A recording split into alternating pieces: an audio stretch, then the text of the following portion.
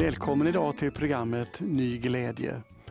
Vi ska eh, bara ta ett kort ord ifrån Kolosserbrevet kapitel 3 och vers 15. Låt Kristi frid råda i era hjärtan.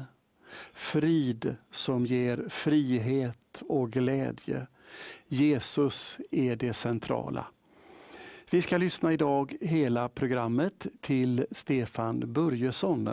En inspelning från Kornhillkyrkan i Halmstad påsken 2015. Ja, vi får inte plats med hela predikan men det här är en del av det och han talar på ett eh, sätt som gör att det är lätt att ta till sig Guds ordet och det känns väldigt gott att lyssna. Så eh, ta emot budskapet. Jag är med min fru, vi har fyra barn. Eh, jag bor där uppe, aktiv i en eh, pingkyrka, en av pastorerna i pingkyrkan Kungsbacka. Jag åker runt och det står att jag är resepredikant, står det på, på själva grejen och det är så viktigt. I vanliga fall har jag det och så arbetar jag med att knyta fast och knyta loss båtar i Göteborgs hamn. Det är nice. Jag har sagt det innan men jag säger det igen. Det är det mest bibliska jobbet du kan ha i Göteborgs hamn. Vet ni det? Varför då? Man binder och löser hela tiden. Mm.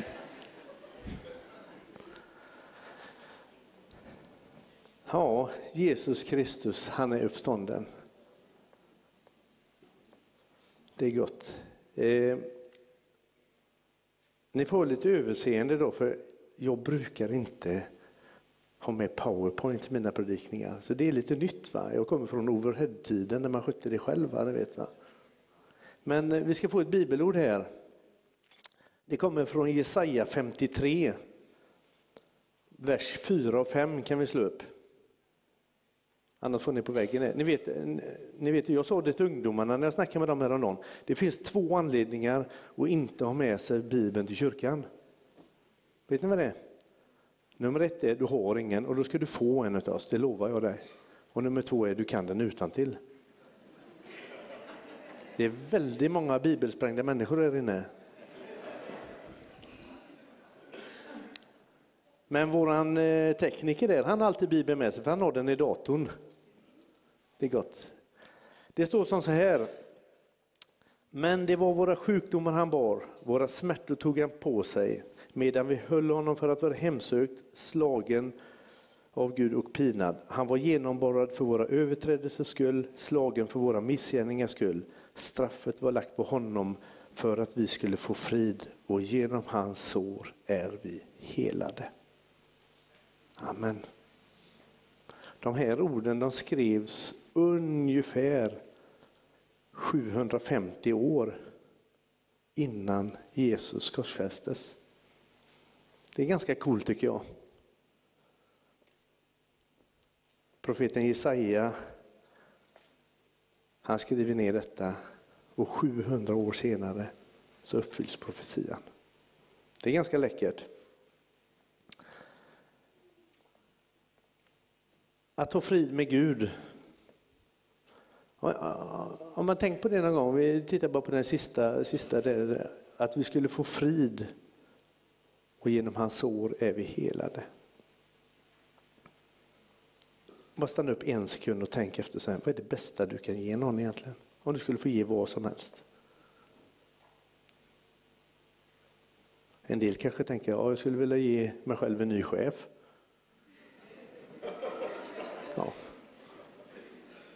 Eller ny pastor eller ny resa. Eller, ja. Men Paulus han pratar ofta om det som står här. Liksom så här i Fesebrevet så avslutar han med att han vill ge dem frid. Han hälsar bröderna med frid. Han hälsar med frid hela tiden. Guds frid vare med er. I kyrkan ibland så är man ganska from och säger man frid vare med dig broder eller syster. Och så vidare. Då. Jag googlade ordet just frid. Det är inte det jag ska stanna vid idag men det är ganska intressant. Så. Det stod i Wikipedia säger att frid är ett begrepp som används oftast i religiösa sammanhang. Det är ganska nice. Och så betyder det att man har ett inre lugn eller ett lugn i själen. Inre frid används som motsats mot stress och ångest.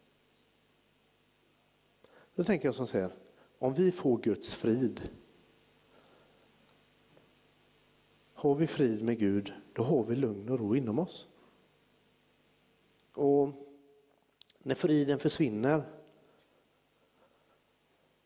då försvinner också längtan, drivet, förtröstan. Allt det här, man bara dräneras på de här sakerna. Man kan ha allt eller inget. Va? Man kan ha pengar, makt, bil, hus, jobb, bilar. Du kan ha allting så här. Men du har inte frid med Gud. Då har man en bärande oro inom sig hela tiden som gnager. Som Per Eivind pratade om häromdagen, en gudsfruktan. Du vet, va? Den här friden som kommer, som lägger sig som ett lugn i oss. När vi bara vet att vi vet. Va? Ofta driver ofrid anklagan så här. Sjukdom driver till sådana saker. Man kan slås av olika saker och så drabbas man av detta. Va? Men om Jesus nu säger, genom mina sår är ni helade, ni kan få frid. Och idag, påskdagen, han är uppstånden. Va? Han säger ju allt detta. Det här gör jag för er. Och, just det med sjukdom. Jag har en hälsning. Det ringde en person till mig igår kväll när jag satt hemma. Och så säger han så här. Du ska predika imorgon va? Ja, det ska jag göra. Då har jag en hälsning till någon här inne. Så det här kommer igenom när han ringde. Det finns någon här inne som vi vill be för sen. Du har fel på dina tarmar på din vänstersida. Om du finns här inne så vill vi hemskt gärna be för dig sen. Men på något sätt så tror jag att Gud funkar på det sättet. Va? Han använder, använder oss på olika sätt för att belysa områden där han vill rätta till. Så om du finns här inne så ta emot den hälsningen. Man kan söka vad som helst. Va? Slå upp tidningarna idag. Folk söker liksom lycka, pengar, ny kärlek, bli kändis, utbildning, överallt. Man bara roffar upp för man vill fylla de här tomrummen i sig. Man vill ha frid, man vill ha lugn och ro. Va? Och just det med frid och inre frid och, och eh, jag gick för några år sedan och funderade ganska mycket över det. Just det, frid med Gud och lyssna på hans röst, så, höra vad säger han, vad gör han? Ni vet, så va? Men då vill man veta att, att man inte är ute i fläsket och härjar. Va? Köttet säger ni här i Halmstad va? Ja. ja. Och jag och min fru vi var på Hållö en gång uppe i, det är en ö uppe i Bohuslän. Så sitter vi där. Nästan i min helhet, jag hade badskjuts på mig. På bergen sitter vi där. Och barnen springer runt och, och eh, leker och grejer. Så kommer det en man, helt högst flux, gåendes upp framför oss. Och, ja, inte för att förespråka det, men jag har en liten bild där på Jesus på armen. Man kan hugga in det. Men det är en annan sak, det lämnar vi nu. Ja. Så stannar han upp och så tittar han på mig och säger, jag ser att du har Jesus på armen. Ja, jajamän, sa han. Vad betyder han för dig? Tittar han på mig och säger, jag tänkte, ja. Ja, så han betyder allting för mig. Ja, så. Jag har en hälsning till dig. En sak ska du veta, sa han. Guds frid kan Satan inte kopiera. Glöm aldrig det. Ja, det är sant så. Den friden Gud ger kan ondskan inte kopiera. Glöm aldrig det. Och det var precis det som jag hade gått och tänkt på. Va? Så han hade med sig en liten tös där, va? så tog han eh, tjejen det så gick han iväg och så tittade han på mig med fru vänner och sa förresten har ni ingen hälsning till mig?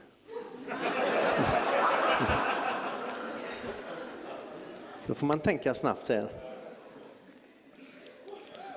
Johannes 14 och 6. Helt rätt sa han.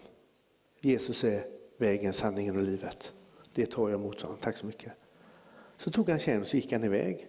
Så vände jag mig till Lena, vi satt där och så, så säger jag till henne, märklig gubbe det där. Och så när vi tittar så, vad tog han vägen? Ingen aning. Så jag sprang upp på berget. Det är ganska flacka berg så, så man försvinner. Så bara, helt borta. Jag har ingen aning. Han kanske gömde sig i en bergskrivel någonstans. Eller så var det ett sändebud. Va? Vad vet jag? Men vad detta gjorde med mig var i alla fall, jag fick en hälsning upplevd från Herren där. Om att uppleva Guds frid i våra liv. Enorma rikedomar ligger i Jesu död på korset. Man får frid att leva i hans närvaro, leva av hans ande, vara driven av Guds ande. Va? Då min vän, då gör du skillnad i samhället idag. Det kan jag lova dig. Man lyssnar till honom, man umgås, man välsignar andra människor och det kan ske på olika sätt. Jag har blivit ombedd av Per-Eive att berätta en grej idag som jag har berättat många gånger innan. Men den är, jag är djupt fascinerad av hur Herren använder oss och hur han brukar oss. Det, det, ja, jag, jag har slutat säga oj, det här var överraskande, utan det är mer liksom att ja, ja, det är så här det är. Va? Det är bara att vänja sig. Mm. upplever bara, jag vill bara säga det, det sitter någon, var sitter du någonstans?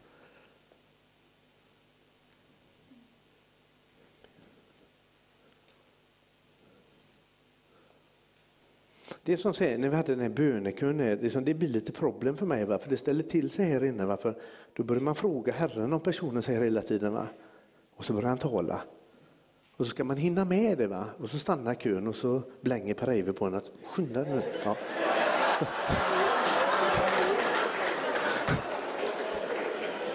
Ja, ni får slåss om det. Nej, jag sätter dig fri. Kanske var...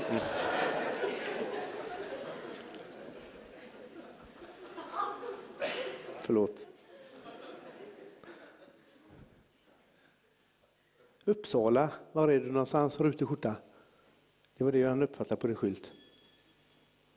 Nej, ingen som Jesus känner. Där sitter ju du. Där är du. Jag vill uppmuntra dig. Men lägg händerna på dig och be liksom så. Va? Alltså du har en profetisk smörja över ditt liv. Va? Mer Herre. Bara välsigna min broder där. Mer Herre. Tack för att du kommer tala till honom. Tack för att du leder honom Herre. Tack för att du gör Herre. Mm. Tack Jesus. Mm. Det var några fler här men vi får ta det sen. Eh, I vilket fall som helst, jag sitter hemma, förbereder en predikan och ja, man har väl sagt till Gud ibland liksom så att jag vill, jag, vill, jag vill göra det du säger och är det någon som har gjort det? Gör man det alltid? Nej, man känner sig lite konstig ibland. Liksom så här.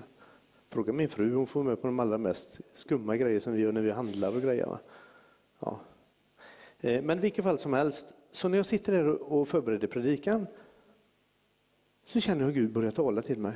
Då säger han så här. Det finns en person här inne som lider av narkotikamissbruk. Din farbror har lurat in dig i det här och du har problem med detta. Men Jesus han vill hela upprätta dig från det. Ungefär så. Något i den stilen upplever Så jag skrev ner det på en lapp så här. Lite enkelt. Jag åker och predikar i kyrkan, det är en svensk kyrka. Ganska, eh, vad ska man säga? En del svenska kyrkor är ganska så här, eh, ja det känns så här heliga på något sätt. Va? Så här stora. Så här. Det är verkligen Gud, ni vet va. Helt knäpptyst i kyrkan. Men i vilket fall som helst så står jag där och förkunnar och, och, och jag, jag, tror jag pratar säkert om att höra Gud eller någonting sånt där. Och mitt i, när jag står så här vid det, ja, altaret och så, så den altarringen och ni vet hur det kan kännas va? Stort och det ekar riktigt när man pratar så här. Då bröt dörrarna upp där nere. In kommer det en dam med en rollator och en ung tjej bredvid, en ung snygg tjej bredvid. Och jag tänker som så här, som att okej, okay, det är snabbt så här, så bara, det är en dam som behöver vård och hennes vårdare. Men det var att de förde en herrans knalle. Va? De började bröta och greja. Och, hej, hej, ropade hon med rullatorn. Jag vill ha förbön. Jag bara, ja, jo, jo, det ska du få, liksom, säger. Och de gick in igenom, hon tog upp sin kamera och började ta kort på mig där framme. Liksom så här. Man, mm. Och då gäller det liksom att inte tappa då, för det blir ju väldigt fokuserat på det. Och jag tänkte ett tag liksom att tittar man på församlingspedagogen då, eller, någon, eller prästen, är liksom att gör lite typ så här då. Va? Ja, så plockar de bort dem, ni vet, så här, lite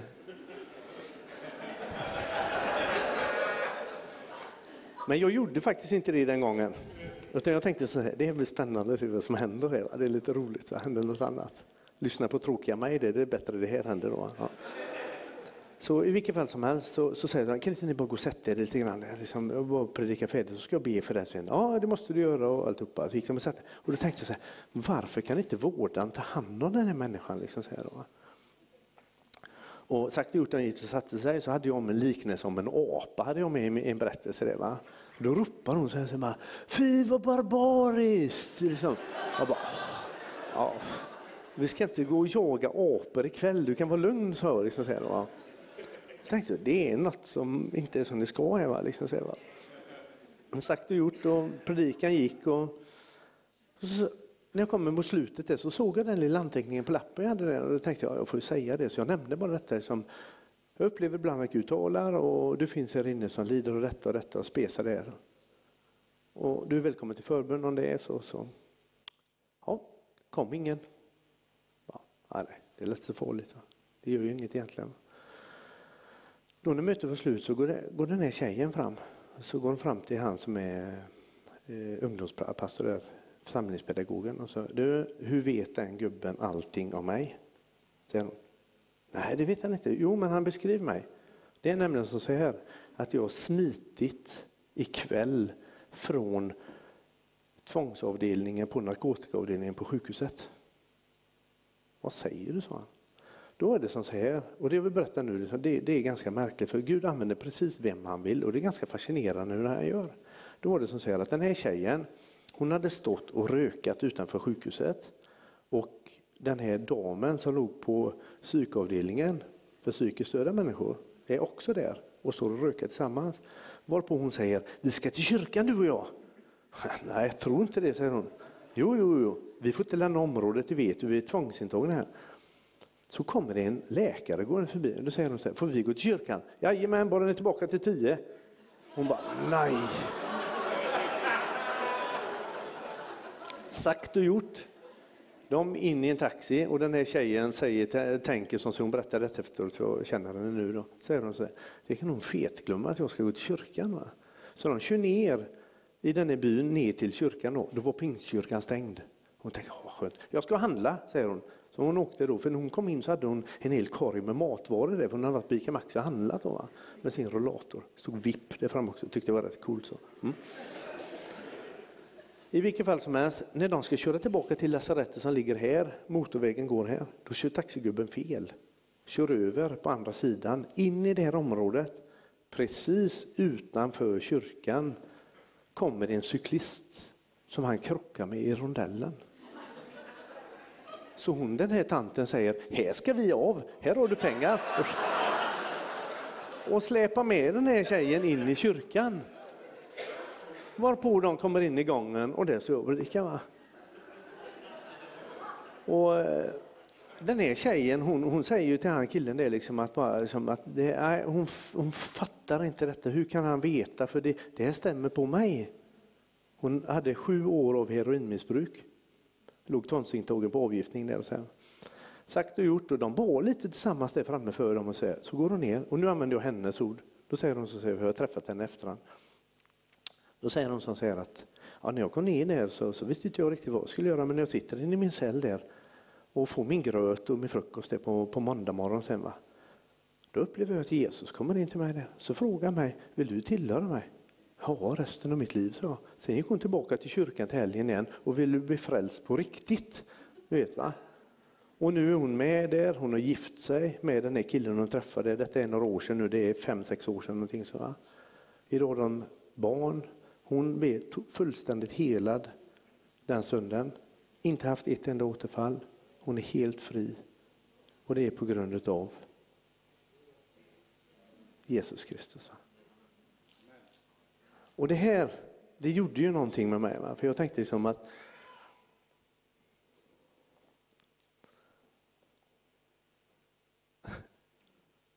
Gud använder precis vem han vill. Va? Och Det är ganska fascinerande hur han gör. Han har ett anseende till person, hur de är och duktiga och hela, som säger, va? hela den här karusellen, va? hela gänget som är inblandat. Va? tänker jag bara liksom att, ja, ja, bara vi gör det vi ska göra. Va? Det är ganska viktigt va? om Gud lägger längtan i våra liv och så vidare. Va?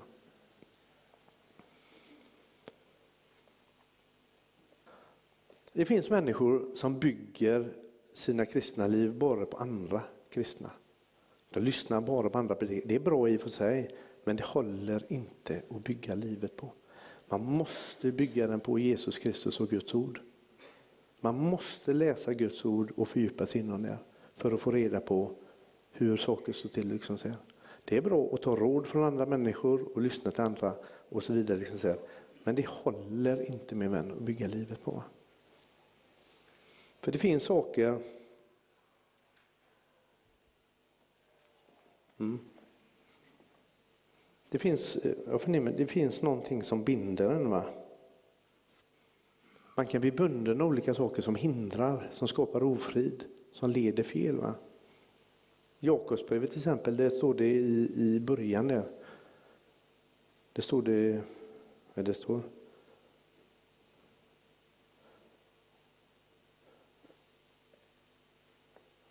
När begäret blir havande så föder det synd. Det, det pratar Jakob där om. Och, och, och liksom, jag tror att han pratar redan om att det kan komma in saker i livet liksom så, som lagras i minnet. Man kan bedra sig själv. Man får ingen frid, man får ingen ro. Och, nej, man är minsann tillräckligt stark och fixar det själv. Och så ska man gå vidare. Va? Ingenting bekommer, man blir immun mot alla frestelser och allting som är. Och så smyger det på sig, så lägger det som en omedvetenhet.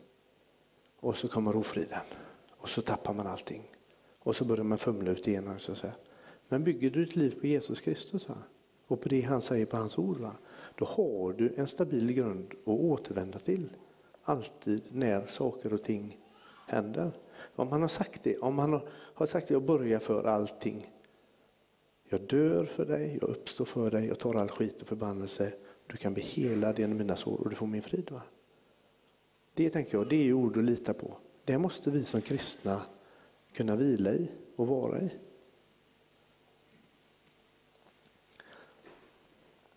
En del kanske inte vet hur man ska få att tro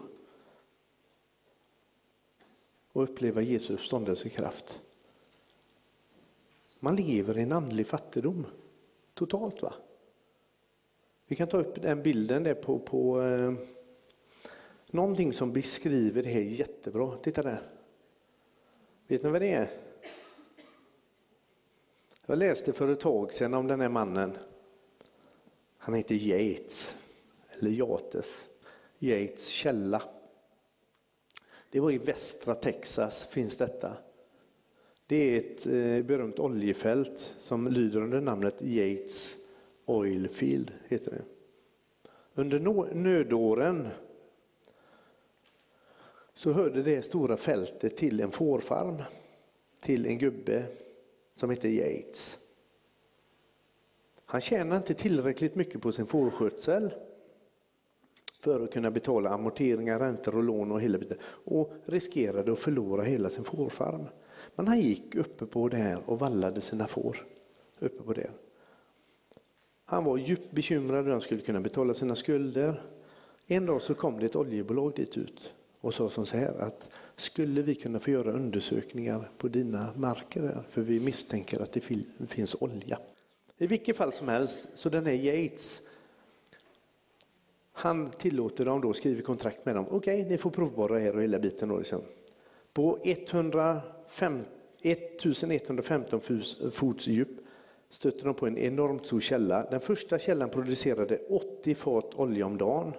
Man fann senare flera källor som var mer än dubbelt så stora och faktum är att 30 år senare producerade en av källorna fortfarande 125 000 fat olja om dagen. Allt tillhörde Yates. Det var hans egendom. Han blir mångmiljonär. Men han var det innan han visste vad han hade. Så levde han i total fattigdom. Det var hans problem. Han visste inte om detta. Va? Hur skulle han utnyttja den här rikedomen? Han visste inte ens att den fanns. Och Jag tänker som så här att det kan inte beskrivas på ett bättre sätt hur vi troende ibland går uppe på de enorma rikedomar som Jesus Kristus har. Men vi vet inte om hur vi ska göra. Vi lever i en andlig fattigdom, vi lägger bort saker. Va? Och Min vän, om vi, om vi är ärliga med varandra så tänker vi som så här. Om man inte har tron på Jesus Kristus fullt ut och, och lever i det, eller man kan, man kan tro på honom men man vet inte om hur man ska göra. Va? Då tänker jag som säger att alla gåvor han lägger i oss, så som han vill använda oss, det blir till profan villfarelse. Man börjar sväva ut, säger jag. Och då tänker jag lite grann, så, nu, är det inte, nu, nu säger jag inte att det är motsättningar mot varandra, men evangelisten är en superbra försäljare på något företag. Ja. Profeten, han blir rådgivare, han öppnar rådgivningsstudio eller någonting säger vad det heter. Pastorn, han blir företagsledare eller kurator och så vidare. Och så vidare va? Men använder inte de andliga gåvorna på rätt sätt för man tar ur fel källor. Va? Man använder det i den profana världen. Va? Men i allt det här så tänker jag att Jesus Kristus kan dimpa in och visa på de rikedomar han har och öppna upp saker i livet där man ska verka.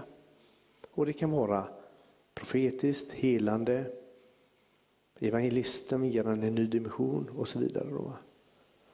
Och jag har valt, för mitt eget, eh, eget liv så har jag tänkt liksom så här, okej, okay, jag vill bara gräva så djupt jag kan för att om möjligt koppla in med den helige Ande och så vara ledd av honom. Och då skickar han oss på olika uppdrag och verkar på ett sätt som blir oerhört välsignande för andra människor. Och detta, den här delen av livet, den tycker jag, jag ska faktiskt prata om detta lite mer på mitt seminarium sen.